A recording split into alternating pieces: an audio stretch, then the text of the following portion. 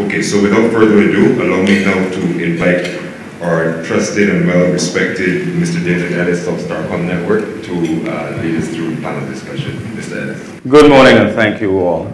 Uh, I'm going to start with Charles Herbert to get his overview of the budget. Now, Charles uh, won a Barbados Exhibition Scholarship in 1974. In 78, he attained uh, the SC in Math with first class honors from Edinburgh University. And on returning home, he taught mathematics at Harrison College, where he went to school for two years before joining the Barbados Mutual as a trainee actuary.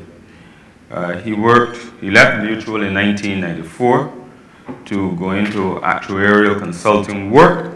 In 96, he established a branch of Eckler Limited in Barbados, where he still works as one of the four local principals.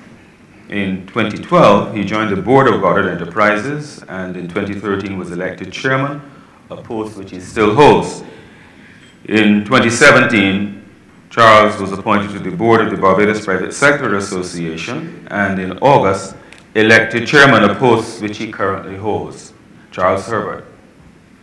Thank you. The opening statement that I'm going to make is one which has been crafted by the entire private sector associations, and it's meant to be a statement or position, a general position that we all take. The Minister of Finance painted a pretty accurate picture of the current dire state of Barbados' government finances and the challenges facing the economy. For the first time, he admitted that the government debt was 145% of GDP, plus contingent debt of 12%, plus undisclosed government payables, which include VAT refunds, tax refunds, and trade payables. He was right that the persistent debt has made the fiscal deficit public enemy number one.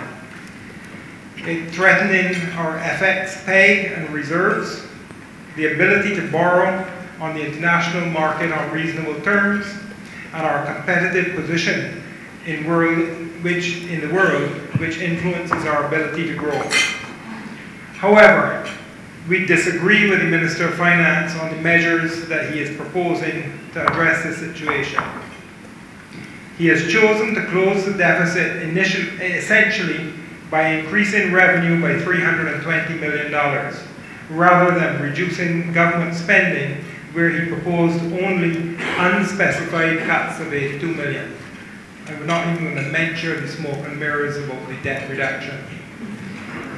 We therefore, we believe that this is wrong and will have be disastrous for the economy because while it does address the deficit, it has the entirely wrong effect on the cost of doing business in Barbados and also on our competitive position in the world and our ability to grow in the medium term.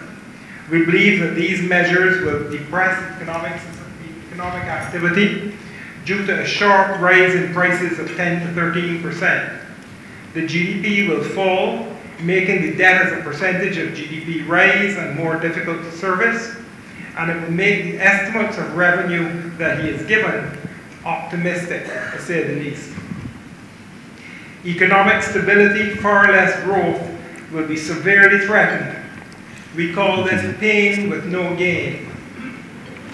However, deficit reduction focused on expenditure reduction as we recommended, while it would have caused similar short-term pain, would have been designed to make Barbados less expensive, expensive and more competitive and encourage growth and stability. Do not for one minute believe that our recommendations did not have a social conscience and that we did not recommend either VAT moving to 22% or a removal of, smoke, of school meals. These are alternative facts aimed at scare tactics of telling the, persuading the population that what the wicked private sector would have done is in fact much worse than the regressive tax system that we now see, which is in fact going to bear far more heavily on the poorer members of our society than it will on the more better off members of our society. The Minister is right that Barbados needs to develop a credible fiscal framework before going to the IMF. Work on this has been called for many months ago, but now needs to be embarked on in haste over the summer months. The minister laid out a plan with some very long names which I can't remember of, the, of what would happen over these summer months. While I hope and we think that these things should come to pass, it is very difficult for us to be confident. Thank you. Thank you very much. Dr. Winston Moore is Professor of Economics and Head of the Department of Economics at the University of the West Indies, Cave Hill campus. Prior to this, he held the position of Senior Economist at the Central Bank of Barbados. His recent research has examined the issues surrounding the green economy, private sector development, as well as the economic impact of climate change on tourism.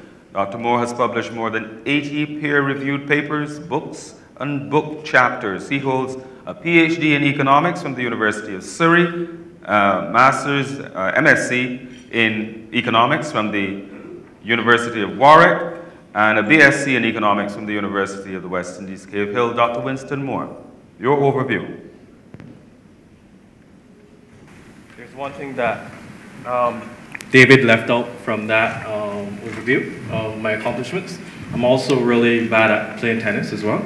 So you should also include that in the next time. Um, no, I'm a really nice person. So I usually start my reviews of any paper or of any document with the strengths and opportunities. Uh, so, and you can tell that I'm a nice person because of the smell, right? Uh, so, same thing would happen this morning. I'm, I'm probably going to focus a lot more on the strengths and opportunities for, of the document. And then um, a little bit later on this morning, I'll get into a couple of the weaknesses and some of the things that were a little bit incorrectly presented um, in the document as well. Um, so first of all, the, the position of the uh, Barbados economy was fairly well set up. It sort of indicates that we are in a very significant and dire position. You have a debt to GDP ratio of 144% of GDP. And even more pressing than that, your uh, interest expense as a proportion of your revenue or as your income uh, is around 20 to 30%. So essentially, if you are individual, your, um, your interest on your mortgage is taking up 20% of your monthly income. Uh, for most individuals, for most bankers, you would say that is really not a sustainable position. So based on that, these recommendations come on the heels uh, of that particular position in Barbados. So looking at these strengths, it obviously means that we need to have some significant adjustment in the Barbados economy. And some of the recommend, some of the uh, policy recommendations do um, bear that out in, in some way, even though I have um, some sort of conditionalities on that. The foreign exchange tax, um, one of the benefits of that, and I think Eddie might like this, is that it might push Barbadians to focus a little bit more on local retailers um, rather than the online retailers. Because if you're getting this foreign exchange tax, rather than you go overseas and you pay 2% in Miami, you might want to consider purchasing those items in Bridgetown or other local retailers as well. So one strength. Um, then also the National Social Responsibility Levy. One of the things that we did in 1990s is that we had this broad-based uh, 7% cut in wages of government workers. Now, that is not feasible at the moment because it is not allowed by the Constitution. Um, but by increasing the national social responsibility levy from 2 to 10%, you've essentially cut wages and salaries of all Barbadians. Um, so we've essentially implemented a similar policy to what we implemented in the early 1990s. Again, uh, a fairly useful thing in terms of generating revenue, given that you are in a crisis. Uh, the other issue here is the debt um, reprofiling. Remember I mentioned earlier that um, approximately 20 to 30% of interest was going, of interest, um, interest expense was accounted for about 20 to 30% of revenue. Um, the debt reprofiling is expected to um, change that ratio a little bit and push down the proportion of interest expenses going to of revenue that's accounted for by interest expenses. So again, um, a fairly useful thing uh, in terms of the strengths of the document. Uh, then also the tax amnesty. Uh, we're hoping that, or that could potentially bring more persons into the tax net, which is also potentially a fairly useful thing. Now, the opportunities that could come out of this document for maybe some of the business persons in the room um, here today. Uh, some of the SOEs, it was announced in the document that some of the SOEs might be di divested. So this creates some opportunities for purchase and some further economic activity. So this might be something that you can take a look at and consider going forward in the future. Um, diesel, the tax on diesel um, compared to um, gasoline vehicles is now a lot lower. So if I was selling the, um, vehicles, obviously I might want to switch my portfolio towards diesel vehicles. I have some real strong thoughts about this though, and I couldn't let this one go before giving my negative comments about this because we, we've always talked about Barbados being a green economy. And this really doesn't help that goal in any way because if you're switching the purchase of vehicles towards these very large vehicles that we see um, all around the world, uh, that's not really a benefit in terms of pushing Barbados towards a green economy. You're still dependent on fossil fuels. What we should have seen is maybe a, across the board tax based on CO2 emissions. And if you're taxing based on CO2 emissions, then that might encourage people to maybe purchase um, hybrid vehicles and electric vehicles and maybe smaller vehicles rather than these large 4x4s that we see on the road at the moment. Sorry, I couldn't let that one go before I'm still trying to be positive. Uh, and then also consultancy opportunities. Uh, it was announced in the document that there was uh, opportunities that are going to be made available for to develop monitoring and performance-based systems for key social agencies, um, which receive transfers from government. So, for example, state-owned enterprises. Um, again, I, so that's the positive part, but I'm, I'm, I'm struggling here to understand whether or not we still have the National Productivity Council, because the National Productivity Council does the same thing. So why would you need consultants to basically do the same thing that the Productivity Council is doing? But nevertheless, um, consultancy opportunities are available. Uh, so I'll give the strengths and opportunities, and a little bit later on, I'll delve into some of the weaknesses of, uh, of the document. Okay, thank you. So I've gone in the direction of trying to get an overview first, and now we're going to get to some specific areas.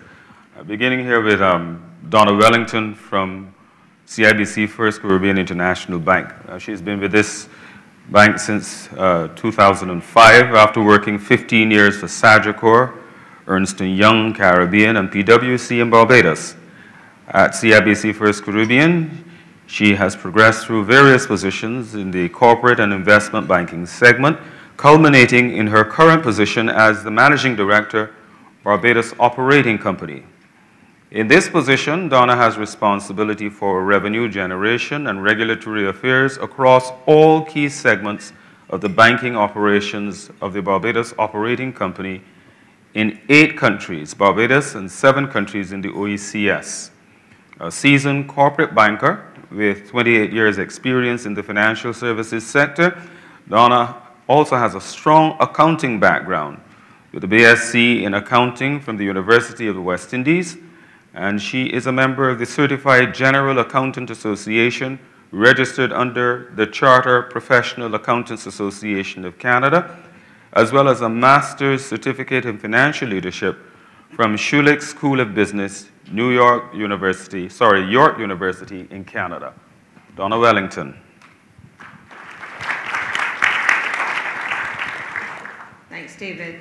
Uh, I just want to mention a couple of things uh, generally first, and then specifically about how banks and creditors would see uh, this budget.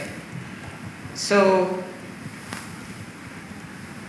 when it came to just the general overview, uh, strategically, um, we understand that this needed to be a budget that appealed to the masses. It needed to be a budget that would allow for uh, electability.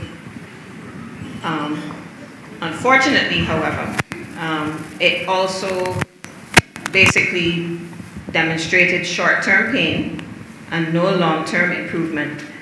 It was a one and done, um, and no views of the future. Promises, however, of a homegrown program, which I'll speak to in a minute. So we, we did welcome the following. Uh, there was a promise of further consultation and I, I will mention the name of the document, uh, the Comprehensive National Fiscal, Economic and Social Development Restructuring and Enhancement Program. I would urge the government, however, to come up with a shorter acronym. So I'm glad to hear that there is a plan for a homegrown program and that one is being prepared and that potentially this could be used as a multi-year document to demonstrate sustainable adjustment. However, um, and, and it did say that it was going to cover boosting foreign exchange earnings, productive sector reform, competitiveness commission that would deal with the competitive action teams that have been set up um, and were the initiative of the private sector association. Uh, a new national energy policy, fiscal consolidation and financial management and audits of the SOEs and an act to do so. An SOE reform for mergers and acquisitions, operational cons um, consolidation and divestment, and on that, I will say that uh, when we think of, of the Hilton, um, where we're sitting right now, uh, I would also like to um, strongly urge that there be transparency in the divestment and that it be offered to local uh, hoteliers and, and, and um, others who might be interested in the asset. It would be better for us if it were. Um, so just, just to put that little plug in there. Uh, debt service, debt growth stabilization and reduction through fiscal reforms and social sector reforms in critical areas such as healthcare and education. So that's a great idea um, and one that we certainly would welcome. Uh, there is need, as was mentioned, to even prepare uh, the, the, the country should we even have to go into an IMF program at some point in the future we need to have a document that is the, the basis upon which we go. And this was mentioned by the Minister of Finance that if mm. you do have to go to them, it is most critical that you have your own document and you do not just give them uh, the pen. Uh, the, the, where, the, where the other measures are concerned, whilst the others will, will talk about uh, primarily the, the um, the other taxes, the one that obviously will impact the commercial banks the most is the 2% uh, foreign exchange uh, tax. Uh, this will impact the general public, of course, and will make everything more expensive because we are an import economy. But on top of that, the commercial banks will be tasked with, uh, and other financial institutions that, that are the sellers of foreign exchange will be tasked in tax collection, basically, and that is something that we're not currently set up to do, but we will have to make ourselves prepared to do so. Uh, there was no uh, focus on expenditure. Uh, there was promises of focus uh, through this document uh, that I can't, the acronym I, can't tell you again, uh, but this needs to be demonstrated, well, there, there needs to be demonstration of two things, even if that document is being prepared. And that comes to what, especially as a creditor to the government, we would expect to see. And certain, certain, certainly uh, dialogue by the social, dialogue with the social partnership and creditors and everybody else that are um, going to be impacted by the measures is absolutely critical. Um, not, not just uh, a situation where a document is shown to us, but that there is some consultation and, and there is conversation around it. And then uh, we, we actually have to see something happen this summer. Uh, this is something that we've been promised for a long time. Uh, where expenses are concerned, it has not been up to now, as, as was mentioned earlier. There's been no actual detail on how these expenses will be cut, and it's, it's, it's absolutely important that we understand it is a start uh, to say that they will be cut, but um, we've also heard this before. Uh, this document and the budget really would not have improved competitiveness of Barbados and or confidence uh, by the private sector in the measures on account of the fact that they're not sustainable. One of the things that was uh, interesting to me at least was that none of the revenue measures were time bound. They should have been, uh, if, if we're going to have a 2% tax on foreign exchange, how long is that going to be for? Um, there have been other measures in budgets passed that, that were time bound, and, and, and this one should have, we, we should at least have had some sense of that. So, no real sense of a sustainable plan yet. Um, and I will be very interested in what the responses are of the international markets, the rating agencies, and the Article 4 commentary that will come at some point uh, in our calendar year about this budget, um, especially when it has to do with the plans for debt and, and how interest costs, as was mentioned, is going to be reduced. Thank you. Thank you very much. Roseanne Myers is the General Manager of Atlantis Submarines Barbados and was appointed the Chairman of the Barbados Hotel and Tourism Association in June last year. She is the first direct tourism services member of a National Tourism Association to hold that post in the Caribbean. She's a recipient of a Bachelor of Science honors degree in chemistry and biochemistry and has a Master's of Science in tourism and hospitality with distinction. She has over 35 years in senior management experience in the manufacturing and tourism sectors. Roseanne Myers. Thank you, David. Um, I think when we look at the impact of the budget on the tourism sector, and that is the, or the only um, parts of the budget that I will focus on, um, there was a statement that set up the context in which I believe the measures were intended not to heavily impact on the tourism sector. There was a statement that says, we also felt that a rush standardization of the VAT rate across all valuables, all vatable sectors, including hotel accommodation and direct tourism services, as recommended by some private sector groups, um, would likely cause short-term um, dislocation in the tourism sector, which is struggling from the negative effects of the reduced value of the pound from the, the lucrative United Kingdom market, as well as harm the price competitiveness and the issues that we're seeing because of the rising value of the US dollar. And I would add the, the uncertainty um, caused now by, by the, the, statements sometimes coming out of the US. So it basically took note of the fact that we are in a difficult situation from a tourism perspective. We have fought gallantly, but even when you look today, um, to Theresa May's, uh, Prime Minister Theresa May's lead seems to have narrowed and that has caused a drop, further drop in the pound. So we are in a very fluid situation with respect to tourism. And there was an attempt um, to recognize that and therefore not change the seven and a half VAT rate, which I do believe that the, the, the social partnership in the working group said that that should be protected. So it's not fair to say that there was an across the board attempt to raise the tourism um, uh, that there was, a, there was certainly an understanding that this would not be the time to look at um, putting direct costs on the tourism sector. So we really appreciate that.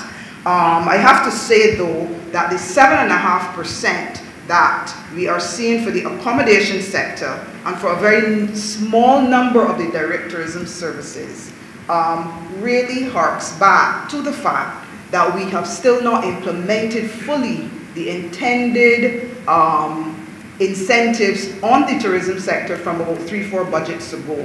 So am I a believer that everything that is said here is going to happen? Um, I, I'm really hopeful that it will, but our experience has not been good. We are still running around trying to get full access to the concessions and the incentives that were given on the food and beverages. And people would have heard me time and time again talk about 49 items. Every day I wake up, I'm looking for 49 items. Additionally, that we have submitted to this list of, of, of, of, of incentives that were supposed to be given to drive the cost of the industry down. So we have not changed the seven and a half, but what we've in fact done is to still add costs to the sector. Um, the legislations for the National Social Responsibility Levy, increasing from 2 to 10%, will have a direct impact on the cost of the tourism sector. Because as I've said, we've not seen a full rollout of the, of the duty-free status, certainly on the food and beverage side, and there are only a few um, businesses that will basically fall under the, the legislation that makes the tourism um, that particular tourism business exempt from the NRSL. Um, so a number of us in the sector, um, small businesses, have in fact been, been paying the NRSL. Um, because it's not specifically stated, sometimes it's hard to, to, to, to, to see it.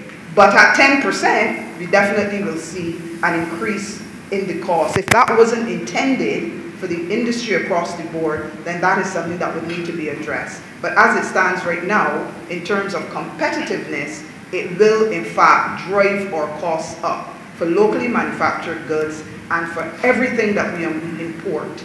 And I think that even though the will is there for us to look at serious import substitution um, in terms of the, the, the, things that we have to bring in now um, and the things that we could possibly grow locally, we are not there yet. We are not there yet, so we will see an increase. Um, so if you look at what will happen, and where you have um, a foreign currency account and you don't necessarily have to go on the market and buy foreign currency, you will not necessarily suffer the 2% on every transaction, but the medium and small businesses in the tourism sector, we have to remember the tourism sector is not only accommodation, it's all the attractions, it's the car rentals, it's all the catamaran companies, and so on, that if you do not have a foreign currency account, you're going to pay the 2% on your transactions.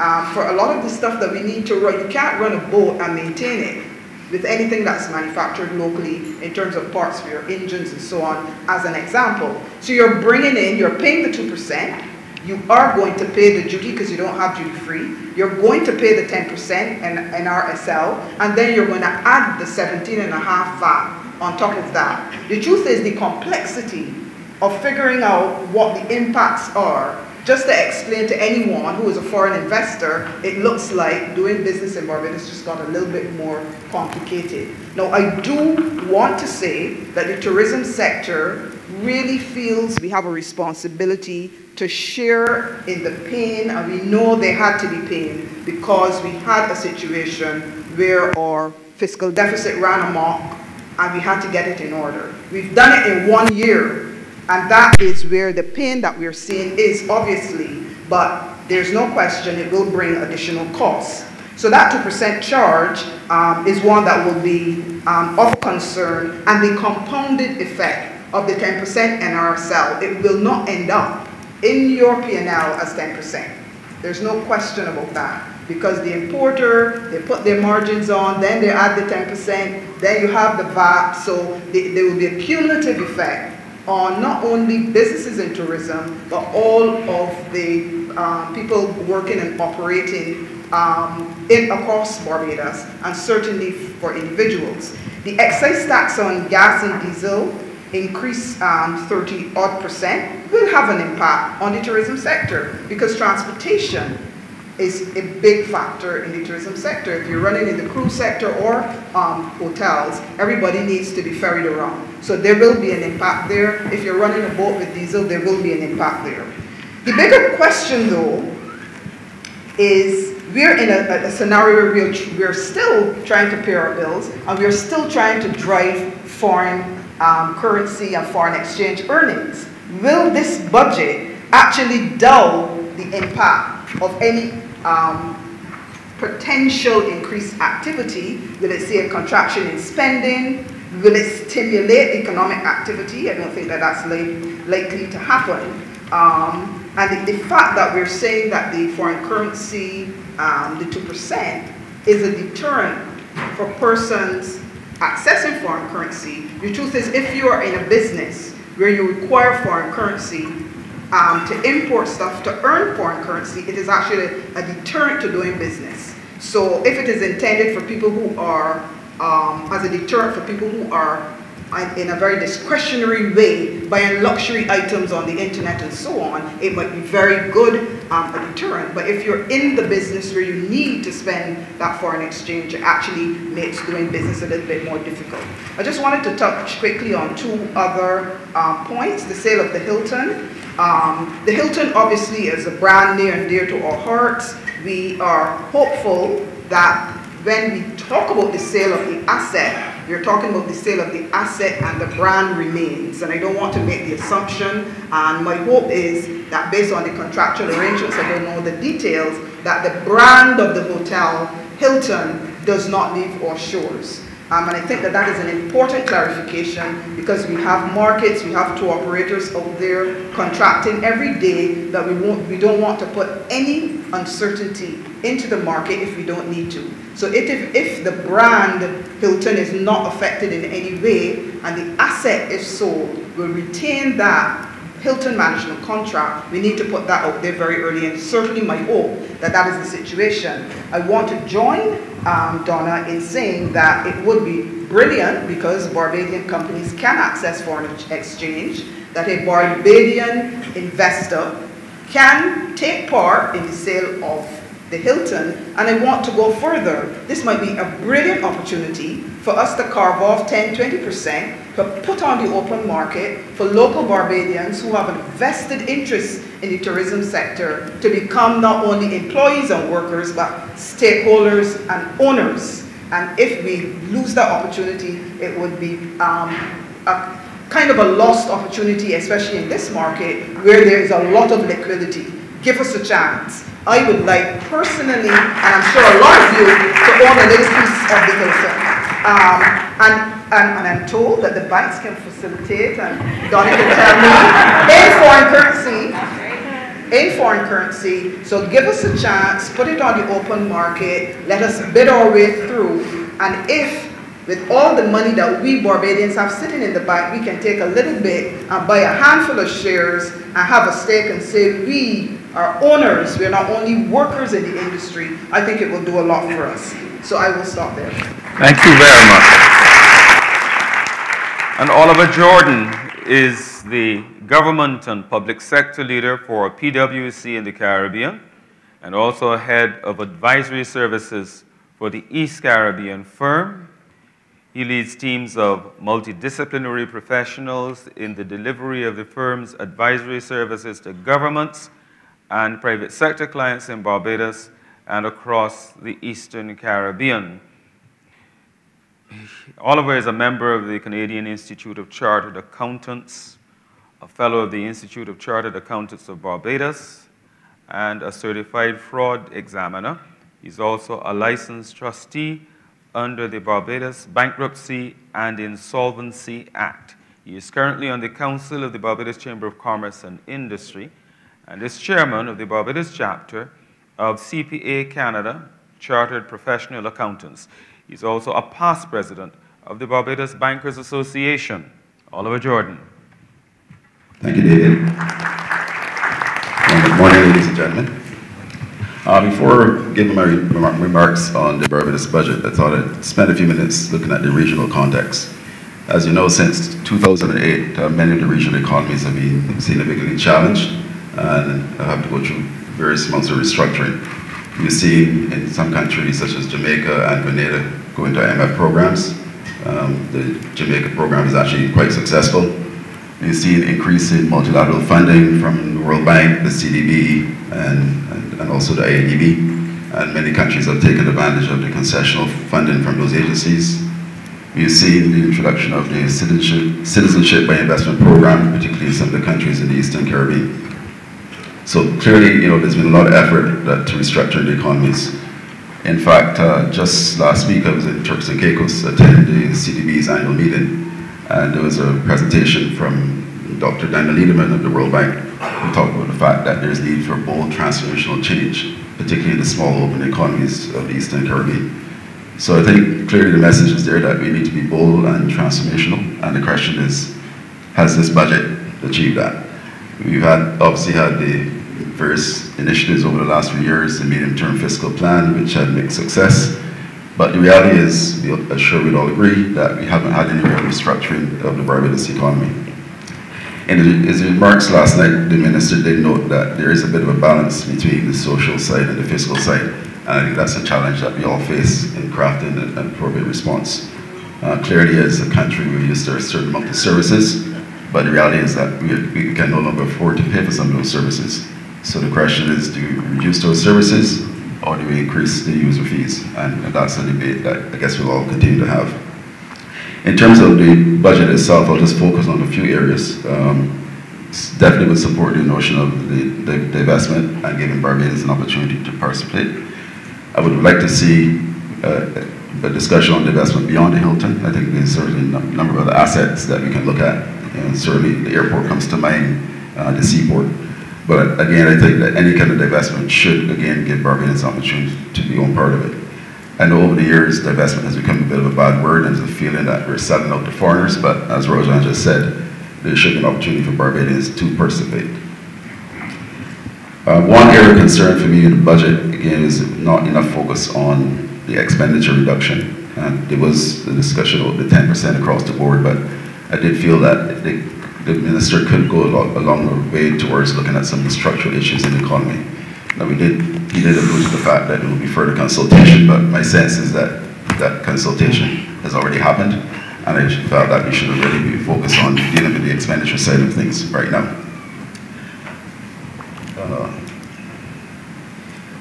The other concern, when we take a step back from the budget is that while the focus was on the immediate issues in terms of the deficit and finance and foreign reserves, um, my sense was that there wasn't enough focus on how do we actually grow the economy.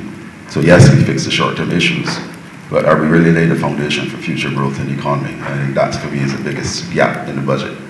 Uh, again, as part of the discussion over the next few months with these consultations, I guess we will get there. But for me, I think the reality is that we need to deal with these issues now.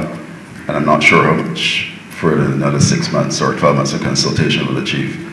So that's something that we really need to think about a bit more. Um, and finally, again, in terms of the state-owned agencies, there's been a lot of discussion about the state-owned agencies. Uh, I think there's definitely a need for reform, and some of the initiatives announced by the minister were appropriate. But I think my message would be that we need to get moving on those rather quickly. Um, we all know the issues in the agencies and the challenges that they face, and I think you know to spend another year talking about it is not going to get us where we need to get to. Thank you. I want to come to those of you who are in the audience to get your thoughts and your questions. But before I do, uh, I wouldn't want to miss the opportunity of hearing the president of the chamber, Eddie Abed. What are your thoughts? Thank you uh, again, and good morning again to everybody. Um, first of all, I think we need to commend the Minister of Finance for being courageous to not only point the picture or paint the picture of how, how uh, what, a dire need we are in uh, in terms of the economy and in terms of our foreign exchange reserves, and to try to balance the budget in one year has been as I say, courageous. The sad part is that perhaps this conversation should have been had at least two or three years ago. We're trying to do too much in too short a time, and it's going to be extremely painful. Um, I'm going to basically just echo some of the remarks that have been given already. We would have liked to have seen more of a balanced approach where the expense side was dealt with um, proportionately as the revenue side perhaps would have been dealt with. My concern is that this is not a short-term measure. This is here to stay. Because I just cannot see how, unless you systemically go after the expense side to drive it down, how we're going to be able to reduce the NSRL or reduce this uh, Commission on Foreign Exchange meaningfully in the future. I just can't see it. So to me, this is part of cost of doing business, which sadly will drive up um, the cost of, of the non-competitive cost in Barbados because none of what has been done, none of the, these revenue-raising measures have been tied to productivity or competitiveness. None of this have been um, indexed to performance indicators where we can say that we know the ease of doing business is woefully poor, poor in Barbados, and we'd like to be able to set a target and say within the next three years, this is what we want to achieve. And by doing so, we recognize that the efficiencies will translate into productivity and competition, which ultimately will perhaps start, driving down costs. We're not seeing that. Um, we feel strongly that the approach should have been one where perhaps we look at users' fees. Those who enjoy services should pay something towards it um, perhaps some sort of means testing, um, definitely a situation of where we have state-run enterprises, those that are, are not performing should definitely be jettisoned. I'm told that Jamaica and St. Lucia are in the process of selling off their state media houses currently, and neither of which are incurring losses to the tune of what ours is in Barbados. There's so many embedded assets in Barbados, and, and you mentioned the big ones, the seaport and the airport. My concern is about all the other structures that the BIDC owns. We've been told the situations that because its government is the landlord, tenants do not pay rent. And they know they can get away with it. It's time that we sell these assets off to Barbadians, access the, um, their deposits that they have. I mean, they have, the last estimate, Donna will confirm this, is eight or nine billion dollars in, in um, savings, and perhaps change the ownership on that. And there's several other areas that perhaps we can look at divesting opportunities to greater Barbadian shareholding. I think the important lesson here is that needs to be dialogue. No, there's not a monopoly on intelligence to one political party versus another. There's not a monopoly of ideas on the public sector side or on the private sector side. We're all Barbadians, we all need to swim in the water, we all need to survive. So I think we need to continue the dialogue and that the programs, solutions, and, and for sure the direction forward should be charted by all of us. There needs to be a say so there's greater buy-in. Um, my immediate concern is there will be an increase in the cost of living. My immediate concern is that we expect that there will be a dampening of demand by consumers. Um, many of our companies, especially through the Chamber's membership, are extremely lean and there's absolutely no way we can absorb this. It's going to be passed on, and of course, we're all bracing for the fact that we know we're going into a very competitive back-to-school season, and then later in the year into um, into the very important Christmas season. So there's still far too much lack of clarity that we would like seen.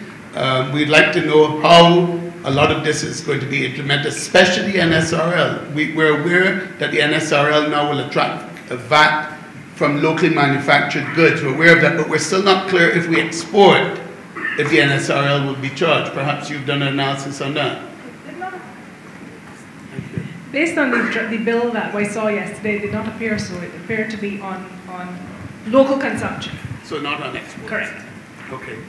Well, that's a positive. And again, thank you for, for asking me the opportunity. We did see a few positives. We're very keen on the duty-free zones that are going to be set up. We think there's a tremendous amount of um, foreign exchange that's not getting into the, the above ground legitimate uh, banking system. Uh, uh, and we would like to see that a lot of that is sapped up through the duty-free zones. We think it's going to be an important step and it's an opportunity for local businesses to grow their, their footprint in, in the tourism area. I think we need just more opportunities there. So I'll leave it there and, and open the questions to the audience who I'm sure must be having tremendous concerns as well. I, I'm particularly keen to hear from somebody in the international financial sector. And, the reason why I'm asking that is because in listening to the Minister of Finance yesterday, one of the points he made was the amount of revenue that has been lost in this particular sector over a period of time.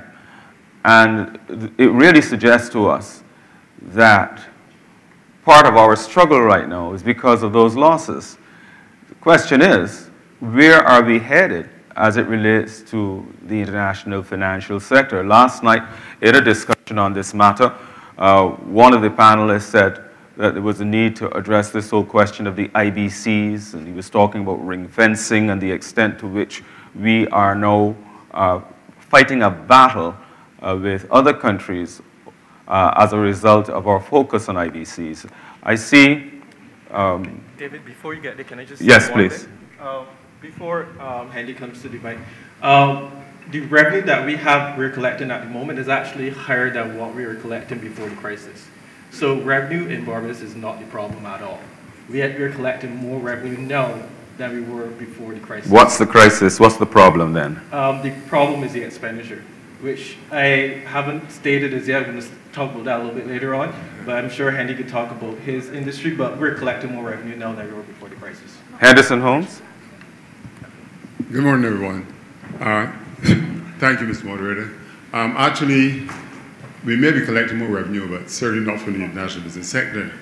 Um, We moved from a position where the international business sector in up to 2007, I was contributing about 350 million dollars to the Barbados economy. Uh, it is in tax alone, right? But right now, it's still making a contribution, I, believe you know, of over a billion dollars to overall the economy. Now, how do you slump from 350 million dollars down to under 100 million dollars? There are a lot of reasons. Um, first of all, we lost some of our large tax-paying businesses. In fact, people might not be aware of it, but after 2007, I think it was about 2008, there's one company that left Barbados because of changes in the Canadian tax law, the, the, the, the um, availability of the exempt surplus treatment to uh, tax information exchange, countries that sign tax information exchange agreements with, with Canada. So if you have, a, say, oil and gas business in Barbados, a, a subsidiary here, that is really just under management, it doesn't employ anyone, but it's paying a lot of taxes. We had one that was paying $80 million in taxes. The year before it left, it was paying $80 million. And a few, about three or so, that were paying about $20 million, and then some lesser ones. So that is where the, the, the, the, impact on that tax came, is at that time. Um, why would you stay in Barbados and pay 2.5% tax? If you can go to Bermuda, because it's just a matter of overnight changing your manager of your company is now you don't have to close down anywhere. It's not like gutters that you put people out of work and that kind of thing. So you take it from one manager and take it to another manager. Now, um, the, the, the reality is that the international business sector, at one time Barbados was a leading, I would say, a leading international business center. We were third in, in line, in fact, in the, the hierarchy in terms of captive domiciles uh, in the 19, up to 1990 or 91 or thereabouts. And the question is, haven't we taken the international business sector for granted? What have we done to ensure our position as a leading captive domicile? We're now about ninth or tenth or something like that. The reality is that if you look at how we promoted international business and what we have done in terms of maintaining our position in international business, we have grudgingly financed the promotion of international business. I mean, I, I, I don't have anything against tourism. Tourism is a very important sector. But whereas we, we, we find that successive governments have been willing to pump 100, 110, 20 million dollars into promoting um, tourism, they give grudgingly a 10 million dollars or so for promoting international business. It's as though, you know, this is a sector, I believe there was an attitude once that this is a sector that was run by white expatriates and that they can take care of their business and you know it doesn't have the same kind of political profile from perhaps the position of getting votes as tourism. It's only employing over 4,500 people and um, we, we, we, we, probably aren't aware of the fact that those of those 4,500, 90% are Barbadians. And these are Barbadians, highly qualified Barbadians and that the, the, because of them, the sector is able to pump large amounts of money into this economy, over a billion dollars. So we need to pay some attention to the ease of doing business in Barbados to attract more business. And we need to put more resources into promoting Barbados as a place for international business. That's the only way we're going to get back to the days when the international business sector can make a big contribution. Just one question to you on that, though. Um, I hear in my ear somewhere somebody else who says, yet another example of the private sector being heavily dependent upon the, upon the government to drive a sector. How do you respond to that?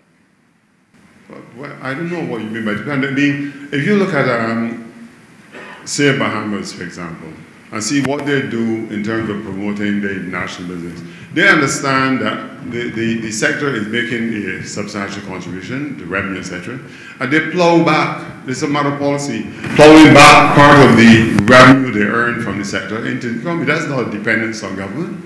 That is, that is the government doing what is necessary to drive the, to the economy. I mean, the, the former Prime Minister Owen Arthur is on record as, uh, as, as, speaking about the international business sector and its contribution to developing our middle class, right? And, the, and, and, and as, as, as, a contributor to the affluence that we see in Barbados.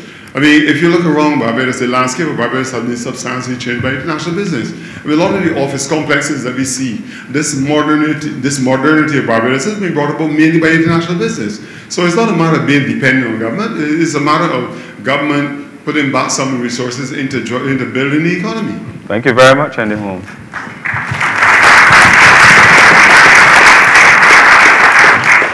Yes, Charles. There was one comment I was asked to make by BIBA from last night, is there's a lack of clarity on the 2% commission on foreign exchange. Um, there's one, one interpretation which the banks had that it was 2% on FX trans, transactions, and yet the, the speech talked about 2% on purchases. So what is not clear is if you are earner of foreign exchange, whether the 2% is only applied to your net purchases of foreign exchange, or whether foreign exchange that you earn and then use will not be subject to it. Um, if it is net, then it is not going to affect BIBA. If it is in fact on transactions, it would be disastrous for BIBA, and it would also be and for, well, I think it's going to hit tourism either way, but um, it's also going to be disastrous for manufacturers who export. We do have manufacturers that export 80 and 90% of what they produce. If in fact, although they are foreign exchange earning for the country, still have to spend an additional 2% buying their raw materials, this is going to make them less competitive. So that was just a statement that both the BMA and BIBA wanted to make. And, and I just want to say that um, the, the banks now have to do that work with um, our regulator and the government to understand how this thing works. So I don't want to be premature in saying exactly what the logistics are. We just need clarity. Can you identify yourself? Denise Monterey Rogers, Rodgman Holdings Incorporated. Good morning to the panel and to fellow business colleagues in the room. To my mind, a budget should not only address the short-term imperatives, but should also address, um, inspire confidence by putting proper fiscal, fiscal measures in place for the medium and the long term. And the success of the budget, to my mind, is also on how it answers the critical questions that are before us this morning, like the gigantic fiscal deficit, the stimulation of the Barbados economy, the balance of payments, the confidence by international investors and institutions, the impact of how we're going to stimulate our foreign reserves, and also improve Barbados's competitiveness. So my question to you then, therefore, is, seeing that for the most part, I would say that the budget was a short-term budget, to what extent will the Barbados economy digress within the next 12 months? And if you agree that it will, how can we, the business community, brace ourselves and what mechanisms can we put in place to mitigate the fallout?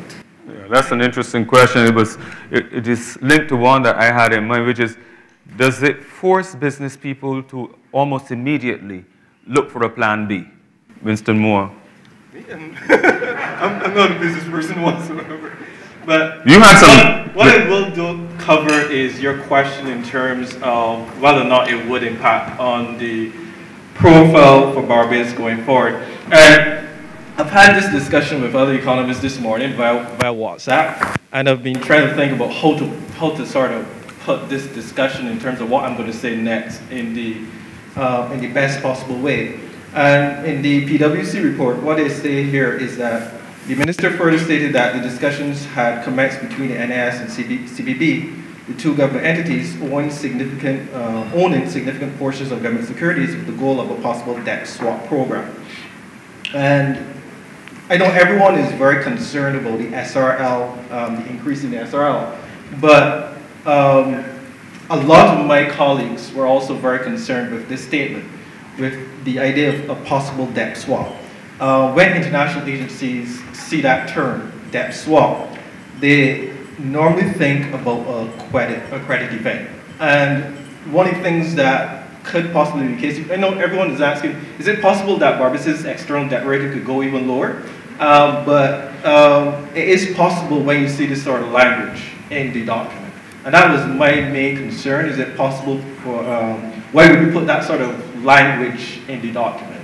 And because it could have significant negative effects. Because this sort of, what they're talking about in terms of debt reprofiling, could be done in the natural course of doing business. There's no reason for you to say a, a possible debt swap. Um, that is totally unnecessary uh, in terms of putting in, in, in the document uh, because it could just make things uh, even worse. Um, so if you were a business person and you're holding government paper and the, the, and the external credit rating on the government paper falls even further, that has um, possible negative effects on the economy. And remember I've covered all the positives of the document already earlier. And the other thing as well, the document has stated that the, they're going to have a fiscal surplus in the coming year. And that is totally not the case unless they change the way of accounting.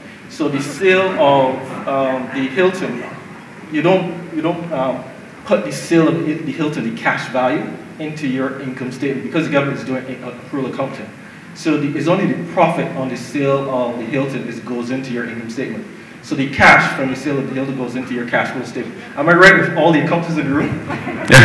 so this will have no impact on the fiscal deficit whatsoever. Um, when you increase the, um, the, the, a tax that has this cumulative effect, it leads to reduction in spending and therefore reduction in value-added tax, reduction in import duties, and it therefore also make worsens the fiscal deficit. So the policies that have been announced um, sort of puts Barbados' external credit rating um, at the forefront for our external credit rating agencies.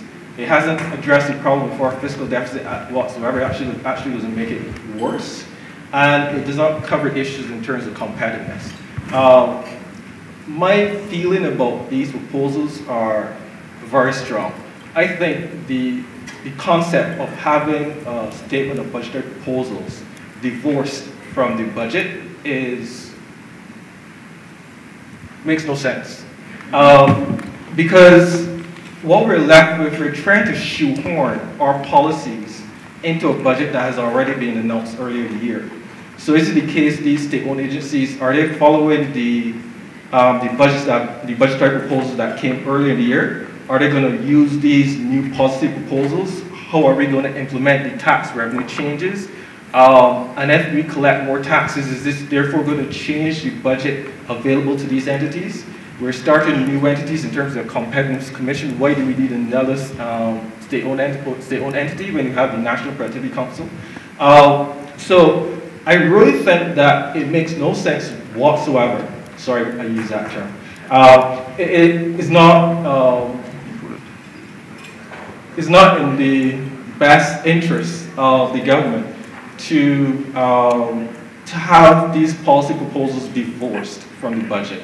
I think it's always best to have policy proposals given in line with the budget. I don't think it is very, um, very useful thing to have these things divorced. And at the end of the day, these policy proposals are essentially then just a, a bit of political theater. They have no real effect going forward because the budgetary proposals are the statement or the estimates have already been laid in Parliament earlier this year. This statement by the government has very little impact on the fiscal situation going forward. All it is is a bit of political theater. So to the business people, uh, the question of whether this budget forces you to think of a plan B. David, ab absolutely right. I think that the political reality is that this budget will be passed by the end of the week this is what we've got, despite whatever we say. Um, I think it is undisputed that the impact on it. It's just a statement. The estimates have been passed already. Yes, but this is the budget. No, this this is just a statement. Go, go to the mic. passed at the end of the week. Oh, a statement okay. will be passed by the end of the week then. It's just a, sta- it's just okay. a statement. Let's move on. It has, it has no real impact whatsoever. These, these, taxes will be, in fact, it will be implemented by the end of the week or will be passed. Um, we do need a plan B. It is going to have a negative impact on the economy, and we need to know how we're going to respond. Um, I don't know. It's, it's really all up to us. We're Bajans. We don't respond to anything. we just take it.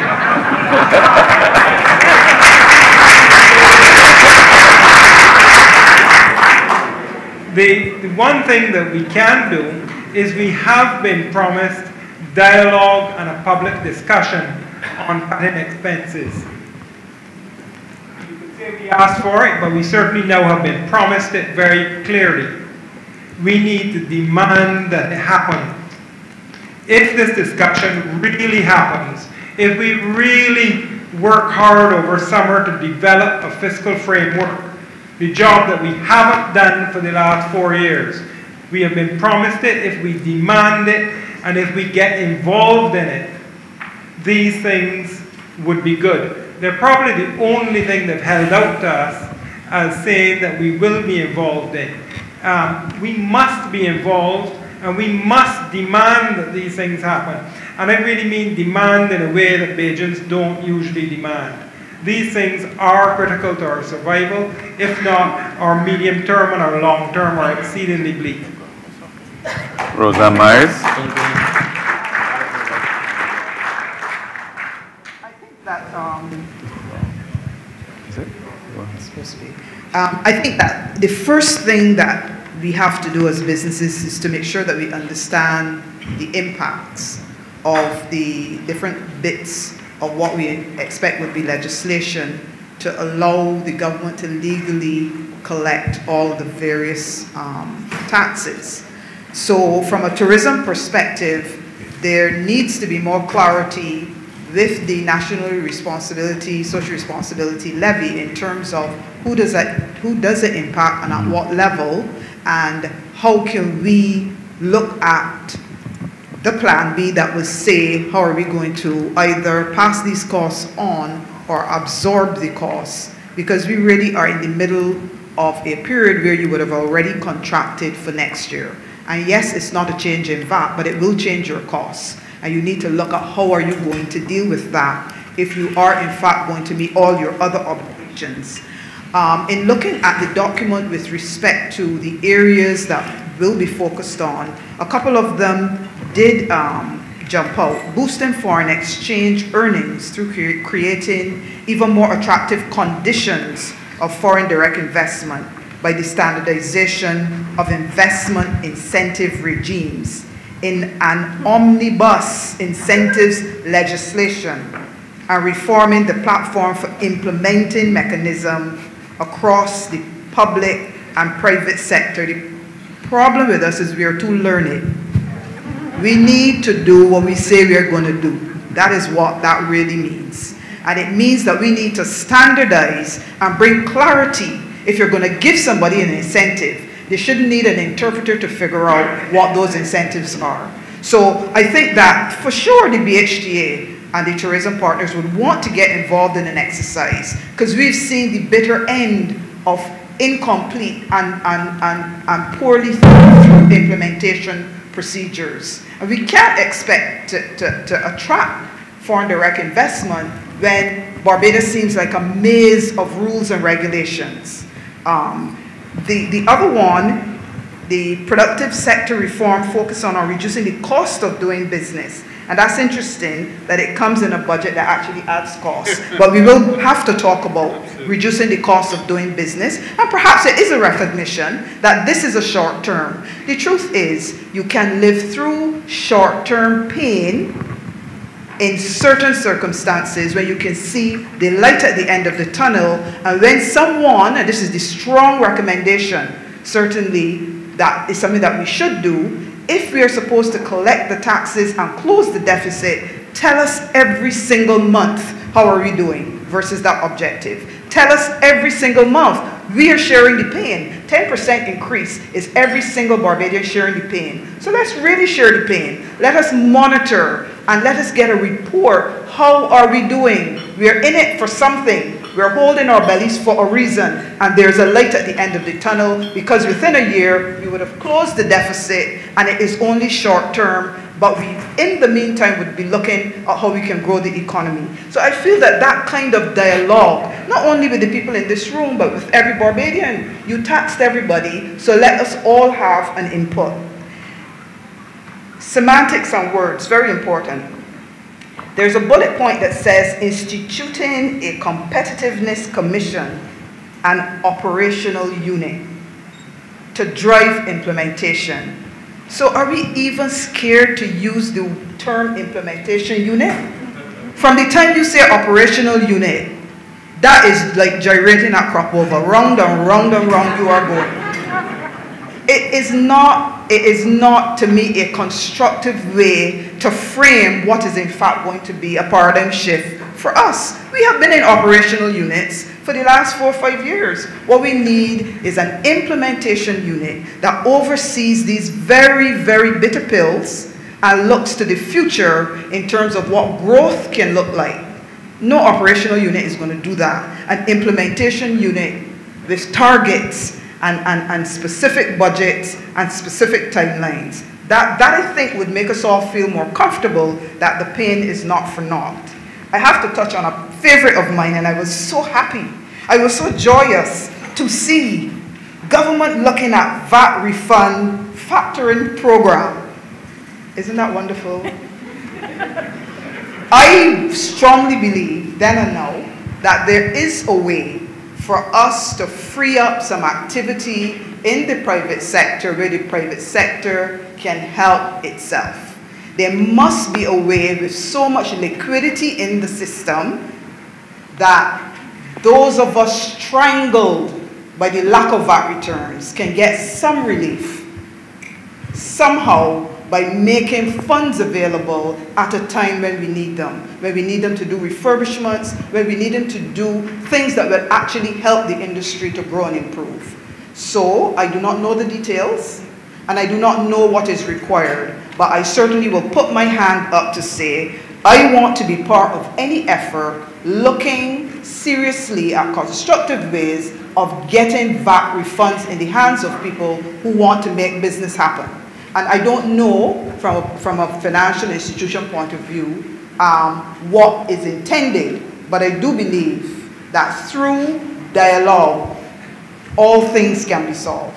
All things. And if there's a way for us to participate, I feel that we need to take it. Credit unions, banks, um, the tourism sector, if there is a way for us, and, and all the sectors that are VAT, to figure this one out, I feel that the time is now for us to sit down and dialogue and see what is possible. It may not be perfect, but it will certainly help generate, I feel, some activity where we're seeing a pressure with increased costs. Well, we have some co comments from the floor, but quick, quick, interventions on this question of Plan B, I think. Um, Oliver. Oliver? No, I was just going to say, going back to the Denise's question in terms of what the business community should do, I think, and again, supporting Charles's point, take advantage of the opportunity for consultation with the government, but basically demand that we get the consultation quickly. Because as Vincent said, we're into the fiscal year already. Um, you know, we have a, a, potential national event maybe 10 months from now. So I think the reality is that the sooner that we can get the consultation going and get the actual national restructuring program in place to benefit the economy. Okay, a quick uh, return to, because there's some other people who want to make a contribution. Yeah. Uh, thank you. Um, I, I didn't address the, the budget um, and the international business sector directly when, when I spoke before.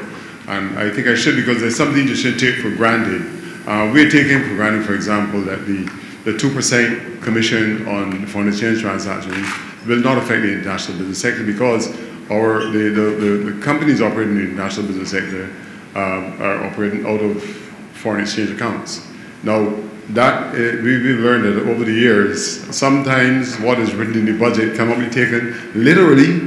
When you get to the implementation, it's a different thing. Now, if in fact our assumption is not correct, then we have a problem because we are promoting Barbados as a place to do business of substance.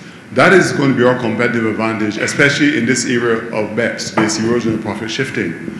Um, and if you're talking about business of substance, it means that you expect people to be doing real business out of Barbados with a lot of transactions kind of things. And if you're going to impose another, you may call it a levy, call it a commission, call it where you like, a tax of 2% on those transactions, you are making, you're going to shut down the international business sector. There's no question about that. Okay? Um, you notice that in the discussion, or all the provisions for the um, NSRL, National Social Responsibility Levy, there's no mention of international business and exemption. I think because there is um, a, notion that the international business sector doesn't have anything that will come into the port that you'll have to charge any national so. But we do have some manufacturing um, um, international businesses, and in fact, if as we promote more Barbados as a place for doing business of substance, we might attract more businesses that are actually going to be affected, transfer, their, their business might be affected by the NSR. So mm-hmm. these are matters that are of some concern to us and which will be monitored. Okay, thank you. Yes, ma'am. Just identify yourself.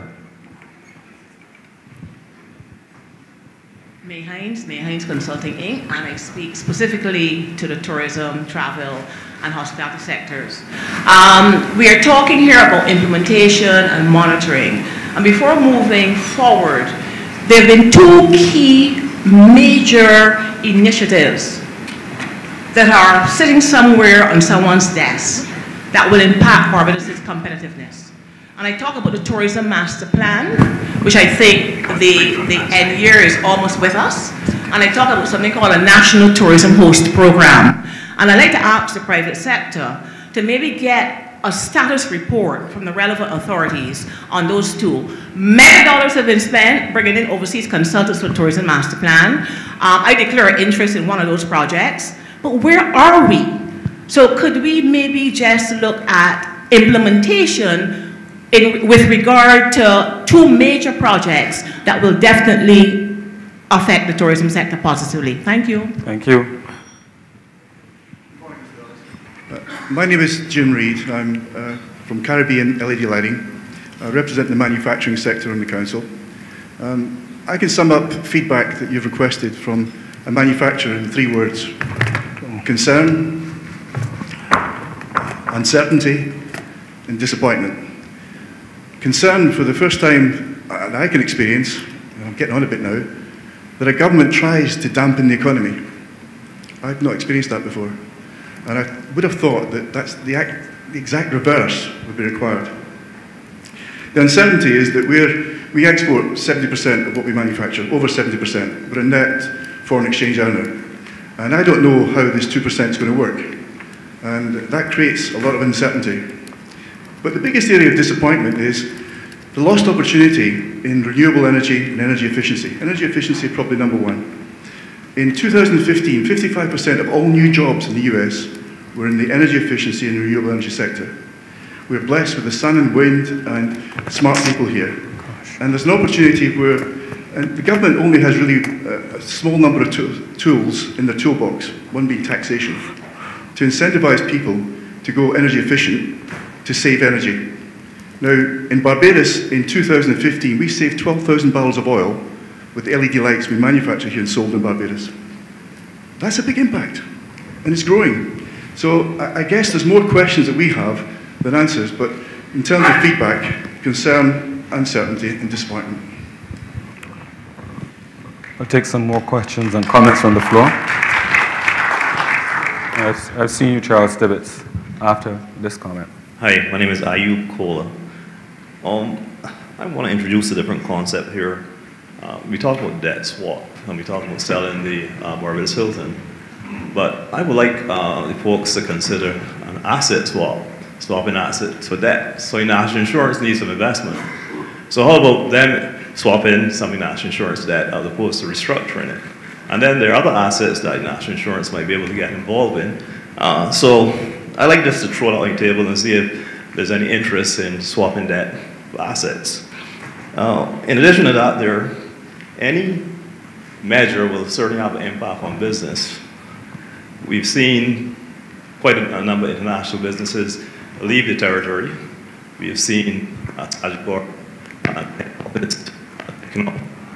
my concern, my concern here now is, are we going to see manufacturers move to different jurisdictions because now they have all this cost imposed on them. And uh, some manufacturers can easily move. So I'm just throwing out those, um, those ideas uh, for discussion. Oh, the other thing is uh, for the economists, I, sorry to get your name. Uh, Mr. Moore.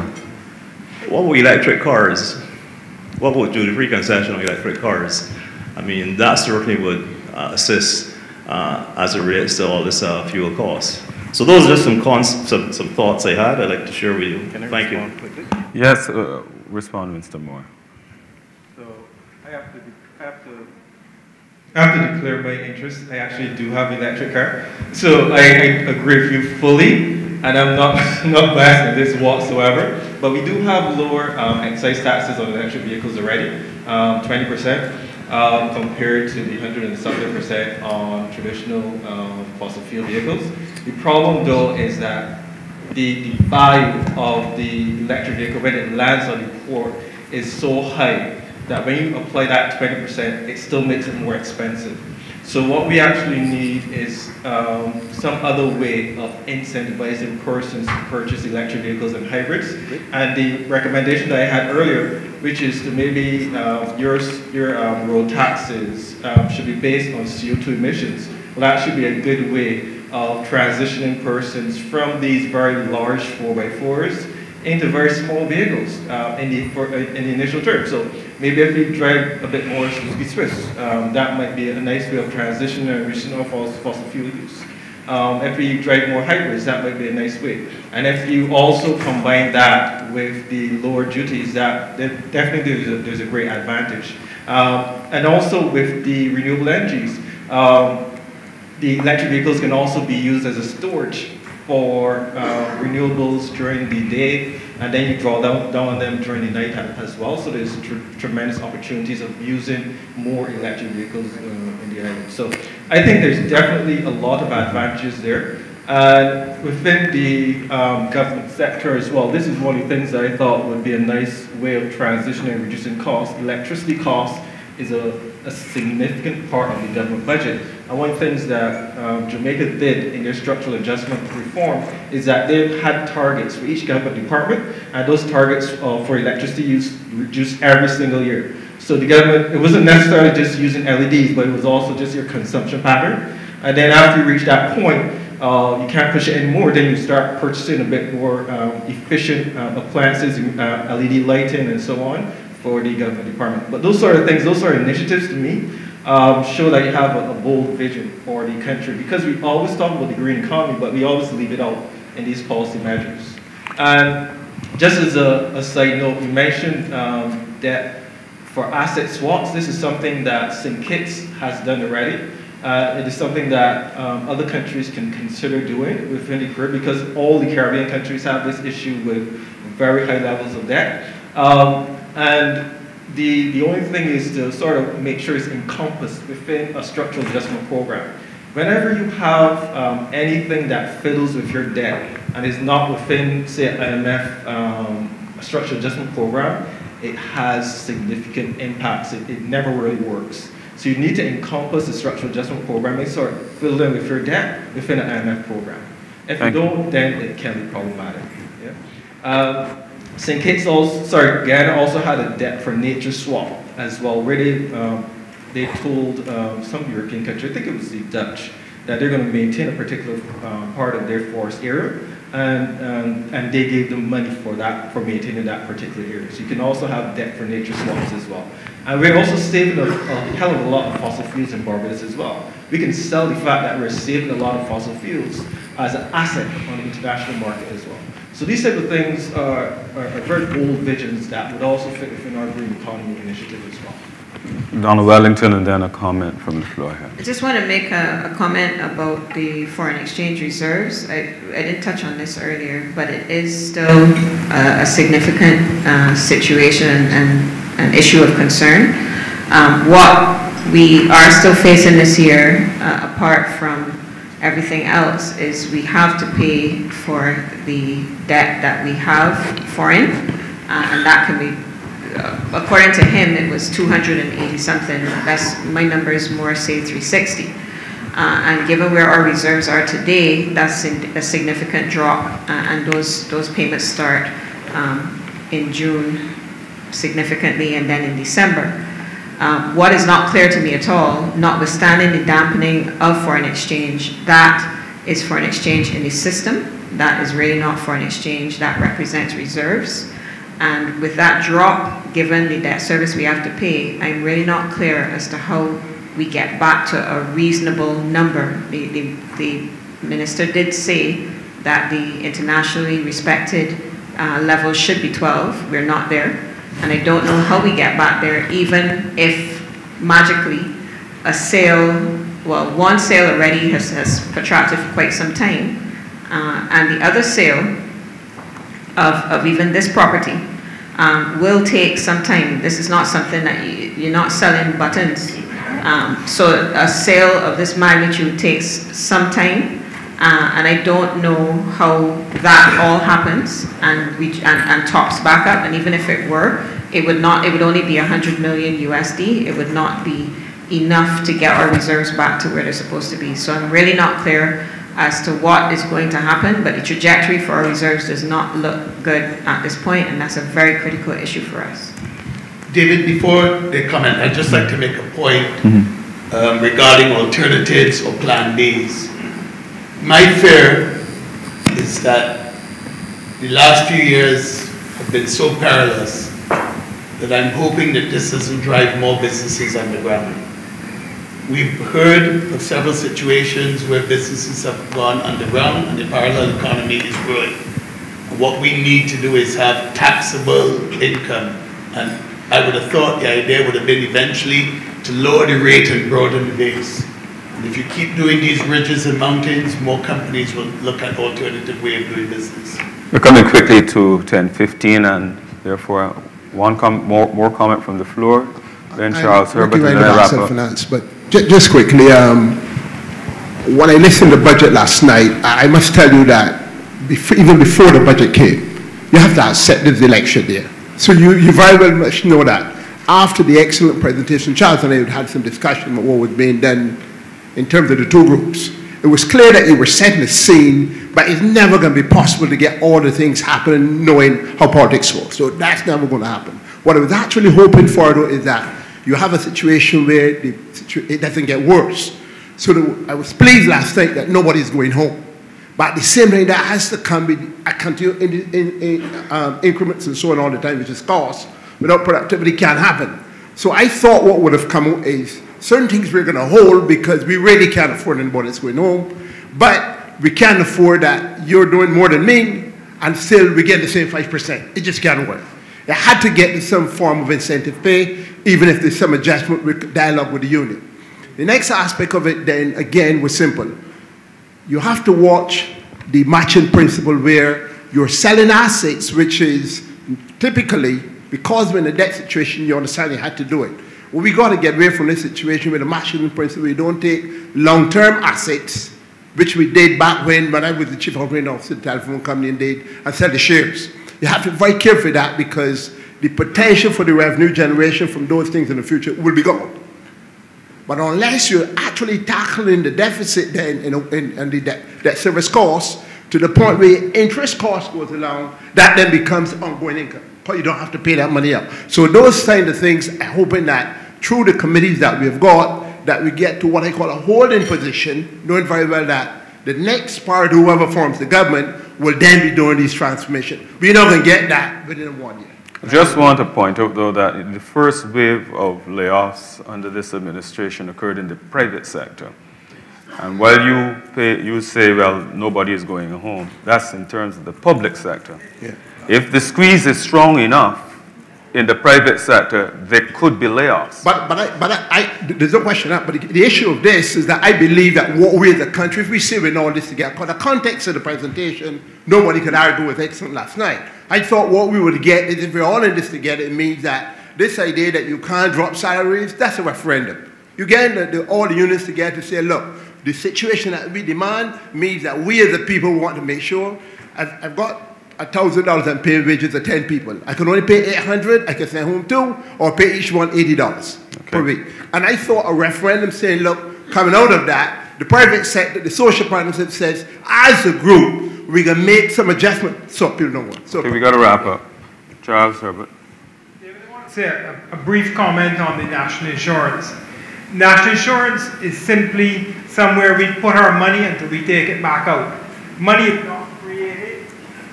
is not created. It's not created and it, and and it doesn't disappear generally. But if we take $70 million a year of revenue away from national insurance and it pays, the say, continues to pay the same benefits, then that $70 million needs to come from somewhere. And it's only going to come from contributions.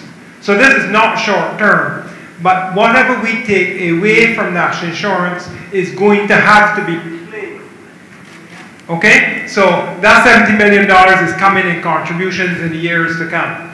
If we exchange national insurance debt for assets, these things can be good. Let us be sure that we choose the assets that national insurance gets. The problem is that national insurance is managed by the same people who will be choosing what assets they get. Okay? We wouldn't accept that if it were our debt being exchanged for assets.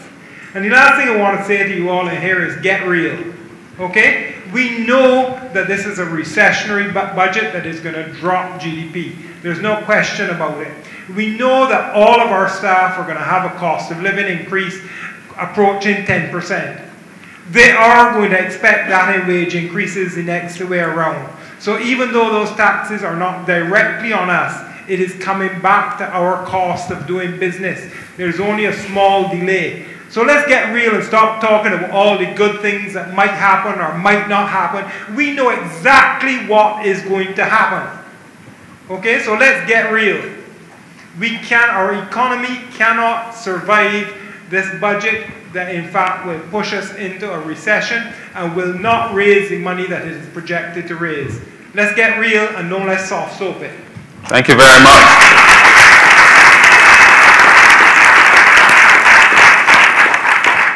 A couple of points in summary. We have noted here that a combination of this increase in the NRSL and the 2% commission on foreign exchange will dampen demand for imports and the outflow of foreign exchange, but is likely to increase inflation. Even the minister himself conceded that last night. He said short term, but everything depends upon what is his definition of short term and what is yours. Um, the minister painted a picture of a dire situation. There is a threat, as he highlighted it, with, the, with respect to the deficit.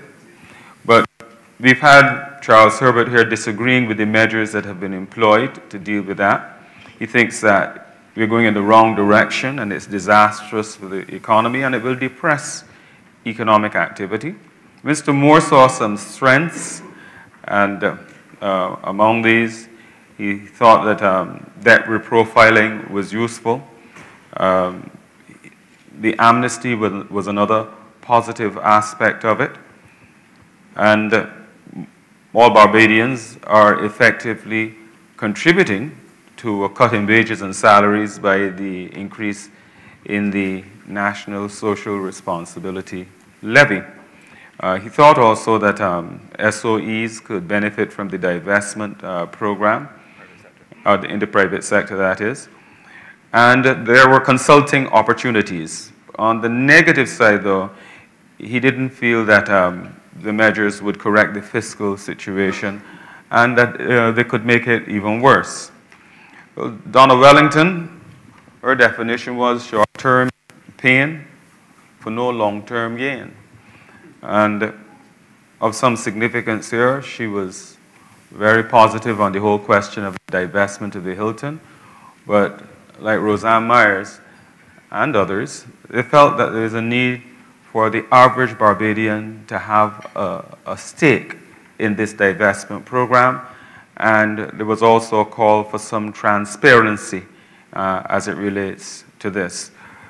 Concern too about the absence of details when it comes to the cuts in expenses, and uh, a fear too that overall it wouldn't improve our competitiveness nor our confidence. As one person said, no real sense of a sustainable plan. Rosa Myers felt that while on the one hand the government appeared to be seeking to protect the tourism sector by not changing the 7.5% uh, VAT rate. on the other hand, the, the costs would be added to this sector. A cost occasioned by the NRSL and the 2% commission on foreign exchange. And she felt that doing business in Barbados got a bit more complicated. There was a comment also coming from Oliver Jordan that he too agreed that Barbadians needed to have a stake in the divestment program. And we did touch on the very important uh, international business sector and concerns arising from how much uh, we have lost in taxation in that sector. And as Henry Holmes said, there really is a need for us to do more. We, he believes that you need to plow back more of some of what has been earned by this sector in promoting it and taking it to a new level. That, in, in summary, therefore, is what we have been able to gather as some of the key takeaways this morning. I want to thank you all very much.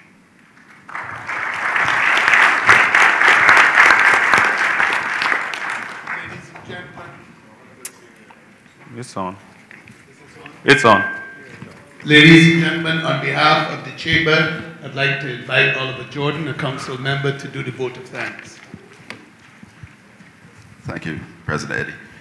On behalf of uh, our territory leader, Mike Bano, and other partners of PwC and staff, I want to say first thank you to the Chamber of Commerce for giving us the opportunity to partner with you again this year, uh, particularly this being a very important budget for, for the country. Um, also, particularly thank uh, Gloria Eduardo and the members of her tax team. Um, when I left the office last night at midnight, they were still working hard. ensure that you got the newsletter out first thing this morning. I Want to also thank the fellow members of the, of the panel, in particular David, as usual, his stellar moderation. Thank you, David. Thank you. Thank you, panel. I just want to, I'm sure you would agree with what President Eddie said, is that uh, no, no one party or no public sector or private sector has any monopoly in terms of ideas.